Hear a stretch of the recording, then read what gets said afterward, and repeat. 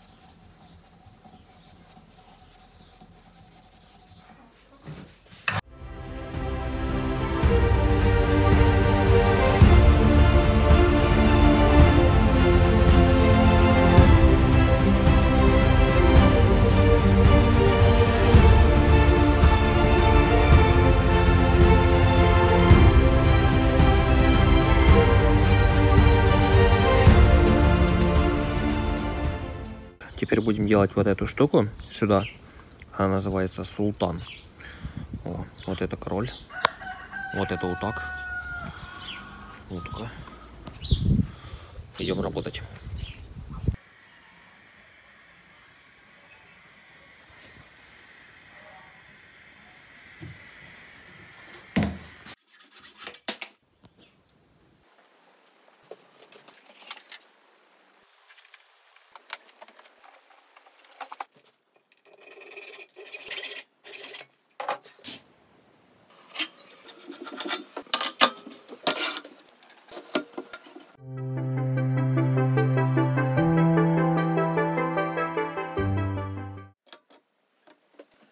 Сейчас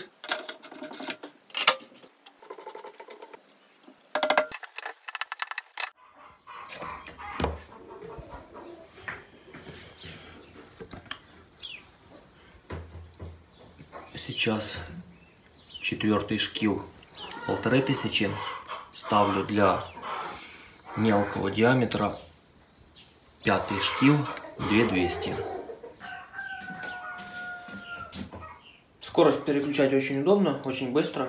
Открыли вот эту крышку, вот эту крышку. Вот это болт, он фиксирует вал, на котором находятся нижние шкивы. Ну, собственно, вал двигателя. Вот. Открутили за ручку, подняли. Вот так вот. Здесь, сюда. Раз. И рукой нижний раз. Снова натягиваем. Вот ремень натягиваем и фиксируем вот тот болт. Все, крышку закрыли, крышку закрыли.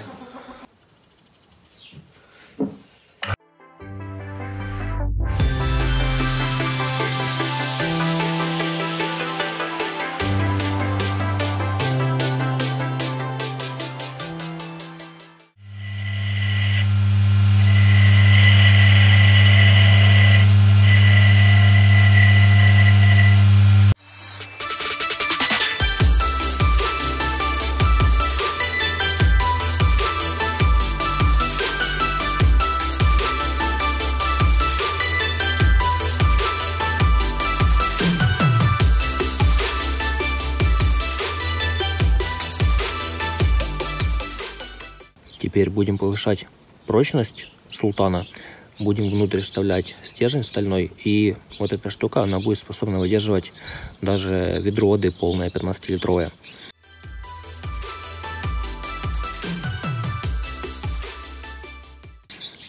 Это спица велосипедная стальная.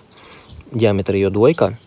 Здесь в самом тонком месте диаметр 3,2. То есть стенка будет очень тонкая, 0,6 миллиметра.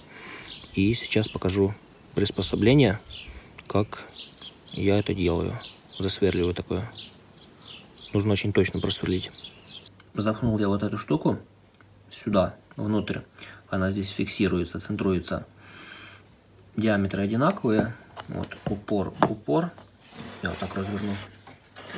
Мне так удобней. И засверливаем дырочку здесь. Потом будем вставлять стальной стержень сюда для прочности, повышения прочности. Сверлю из расчета, чтобы вот миллиметр оставался где-то, не доходя на вылет. О. В общем, прижал вот тут, прижал, вот тут прижал. И засверливаемся. Поехали. По чуть-чуть.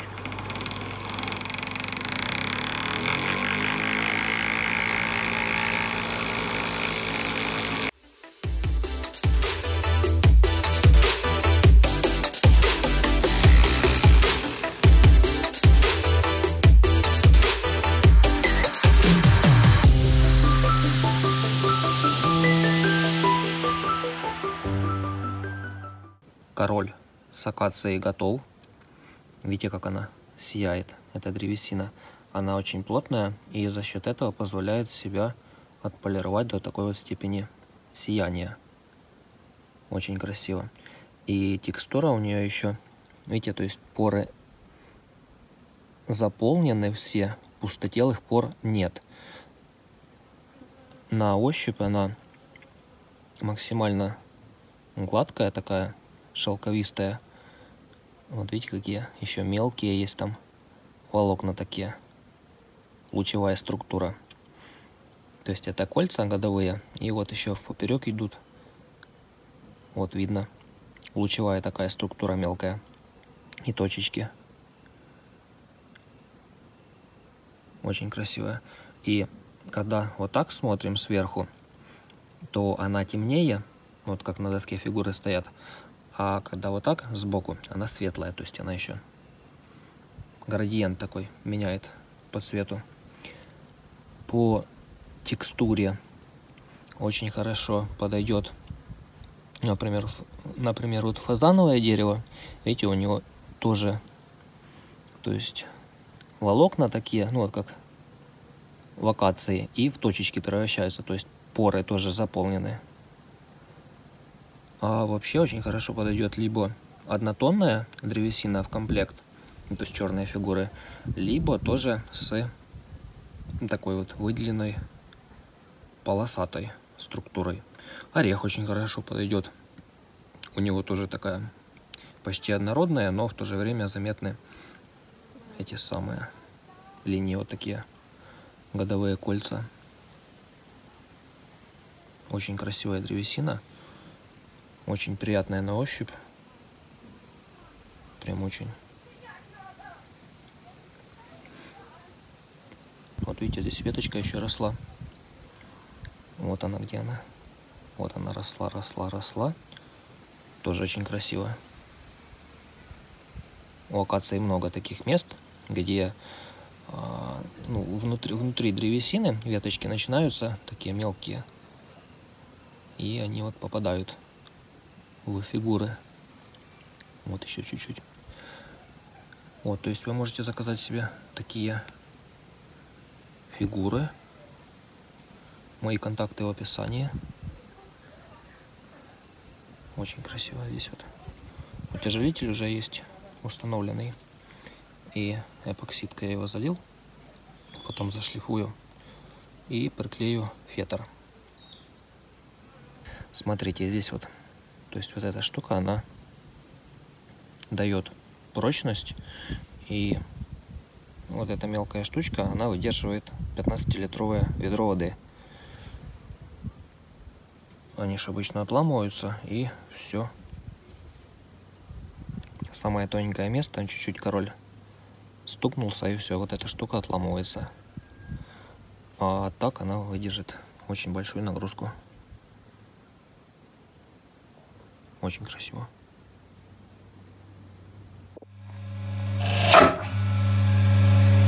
Только начал и сразу безобразие. Я заметил, что когда режущая кромка сформирована по внутреннему радиусу, то получаются вот такие вот зубы на углах. На видео сбоку хорошо их видно. И на перепадах диаметров, даже при малейшем касании, резец сразу затягивает и происходит вот такой вот удар. После этого случая я переделал геометрию резца, убрал вот эти зубы и режущую кромку сформировал по внешнему радиусу. Теперь кромка полностью плавная и резец в таких местах работает полностью стабильно. Вот. Спасибо вам большое.